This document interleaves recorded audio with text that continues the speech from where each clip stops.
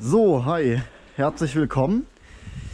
Wir haben ja am Sonntag letzte Woche hier das Bienenvolk durchgeschaut und uns äh, das angeschaut, wie jetzt die Bienen auch nach der Brutentnahme dran stehen. In dem Video habe ich ja noch gemeint, hey, das sind tatsächlich noch Varroamilben auf der Biene drauf. Da haben wir damals gesagt, wir müssen auf jeden Fall mit der Ameisensäure nochmal nachlegen, weil einfach der Varroa-Druck da noch drin ist. Und äh, ich habe euch eine Windel reingesteckt am Sonntag. Das heißt, heute gucken wir uns das Ergebnis an. Wir haben heute Freitag, den 23. September. Also sprich äh, Sonntag reingesteckt die Windel, Montag, Dienstag, Mittwoch, Donnerstag, Freitag. Das sind fünf Tage. Und unsere Windel ist jetzt hier fünf Tage drin. Und jetzt schauen wir uns halt das Ergebnis mal an von den Varroa-Milben. Und wie ich es ja vorhin schon gemeint habe in einem anderen Video, nach der Brutentnahme darf eigentlich keine Milbe pro Tag mehr fallen. Eine Milbe pro Tag ist too much.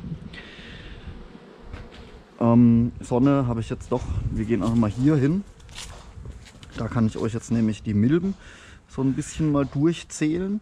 Ihr seht, ich habe ja hier äh, diese ähm, Quadrate hier eingezeichnet und da kann man es natürlich einfacher durchgucken. Hier sind wir ein bisschen blöd auf der Windel, dass hier die Bienen, dadurch, dass ich sie noch gefüttert habe mit Wachsresten, haben die ein bisschen was runtergeschmissen. Wird es hier nicht so einfach, die Milben zu suchen, aber man kann ja trotzdem systematisch durchgehen. Hier auf dem Quadrat ist keine Milbe zu sehen auf dem Quadrat hier, wie schaut es denn da aus? Das ist auch nur Dreck. Sehe ich auch keine Milbe. Wie sieht es mit dem Quadrat hier aus?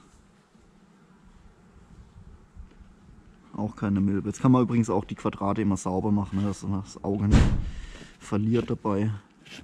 Gar nicht so einfach, die kleinen Milben noch zu sehen. Hier ist eine Milbe, eine junge. Also das war jetzt schon mal Nummer 1. Hier, ich zeige es euch hier. Da ist sie. Das ist Milbe Nummer 1. Dann haben wir hier Milbe Nummer 2. Da können wir schon mal Nummer 2 zählen.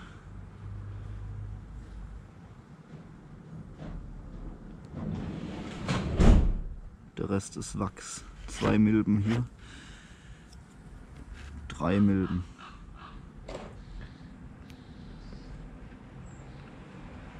vier Milben. Auch sauber. Fünf Milben. Sechste Milbe. Siebte Milbe.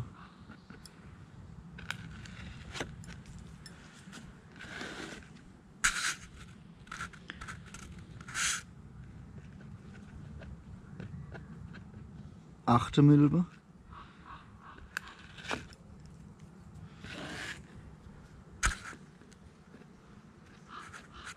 Da ist nichts.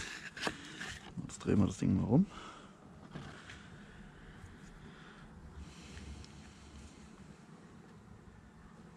Neunte Milbe.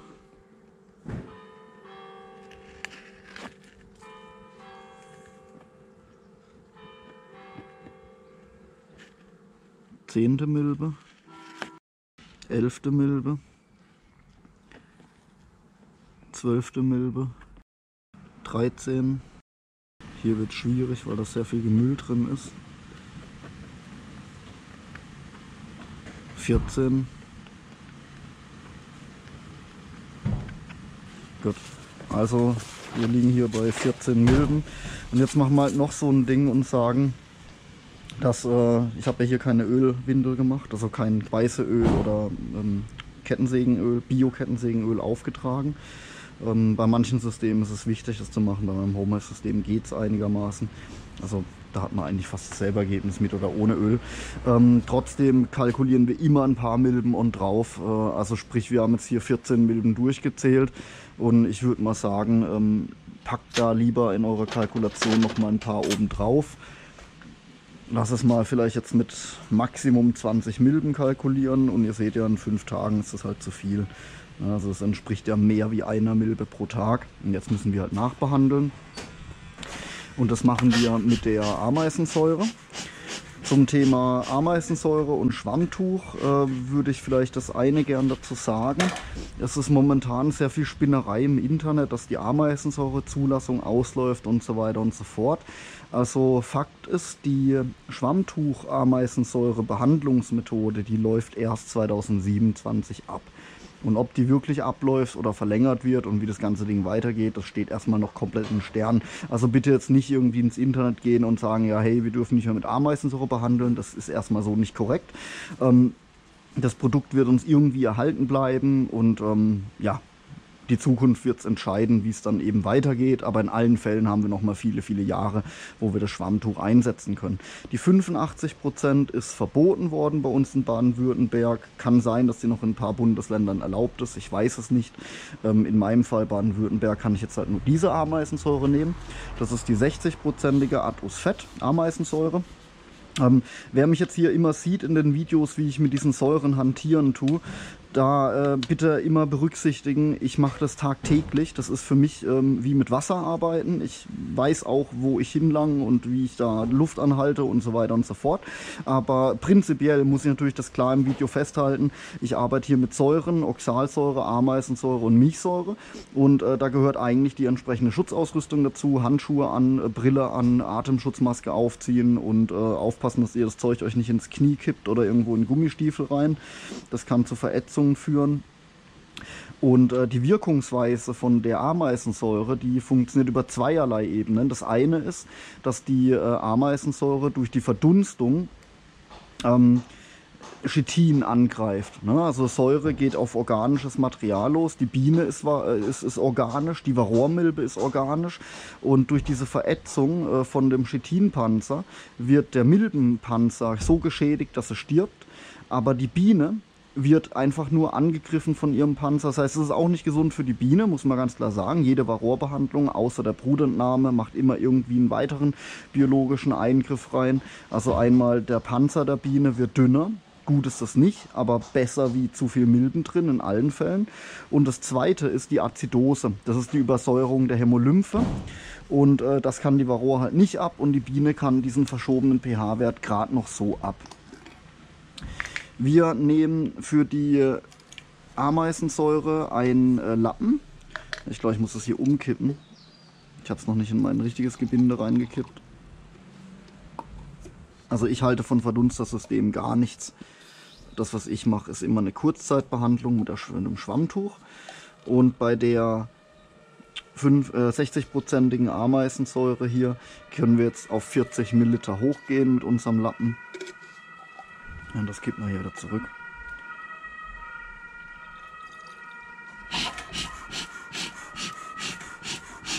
Entschuldigung, wenn übrigens immer in meinen Videos irgendwie Krankenwagen und Polizei da vorbeifährt. Das kann ich nicht ändern.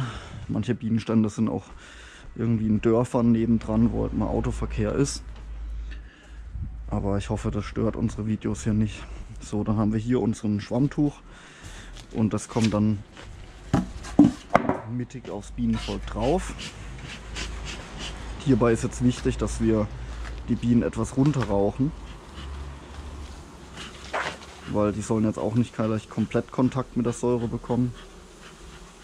Und äh, auch wichtig ist, dass ihr, wenn ihr Säurebehandlung macht, dass das Bienenvolk äh, unten keine Schieber drin hat. Also alle Windeln müssen gezogen werden, die brauchen Luft bei der Aktion. So, 60%ige Ameisensäure im Kurzzeit-Schwammtuchbehandlung. Ihr seht, wie ich das mache. Das wird hier immer in Schneckenform aufs Bienenvolk draufgekringelt. Ich mache das mit einer Spritze. Besonders aufpassen, dass ihr nicht hier so ein, eine Spritzung ins Bienenvolk direkt macht. Wenn das die Biene direkt abbekommt, dann verätzt die komplett. Ganz blöde Idee.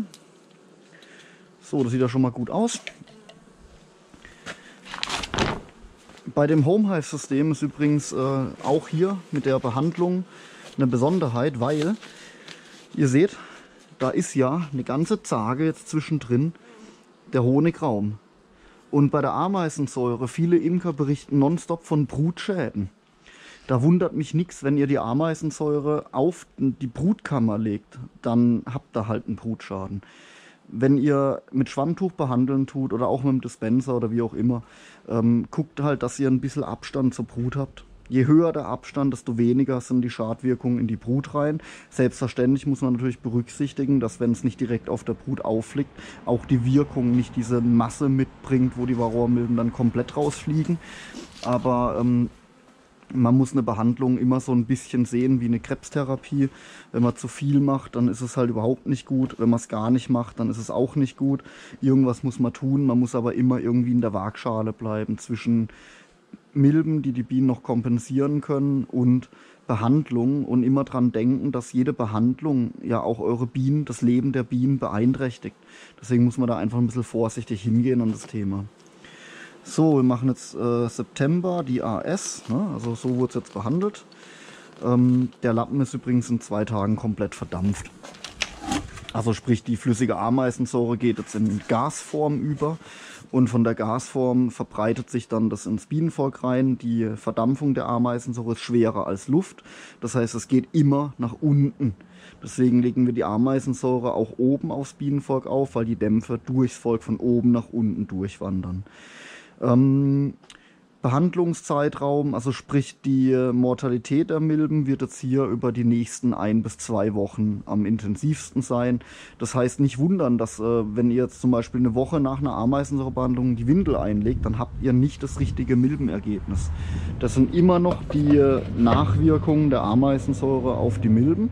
Das heißt, wir können es bei dem Bienenvolk erst in spätestens 14 Tagen auch wirklich wieder eine normale Windeldiagnose stellen.